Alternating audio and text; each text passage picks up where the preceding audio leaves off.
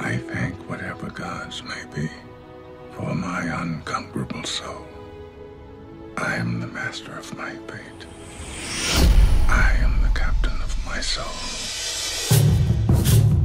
Today, President Mandela takes office in Pretoria, balancing black aspirations with white fears. Remember this day, boys.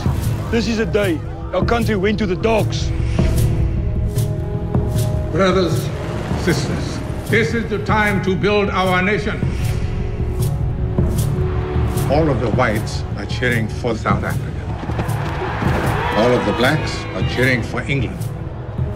How long before the World Cup? Don't get your hopes up. We're a damn disgrace. I've been invited to tea. With who? The president. Tell me, Francois, how do we inspire ourselves to greatness when nothing less will do? How do we inspire everyone around us? What did he want? I think he wants us to win the World Cup. This rugby is a political calculation. It is a human calculation.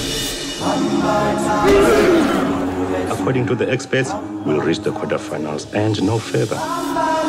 According to the experts, you and I should still be in jail. Times change.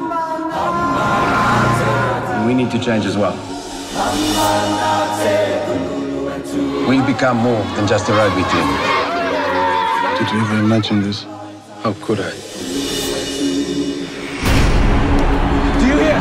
Listen to your country. This is it. This is our destiny.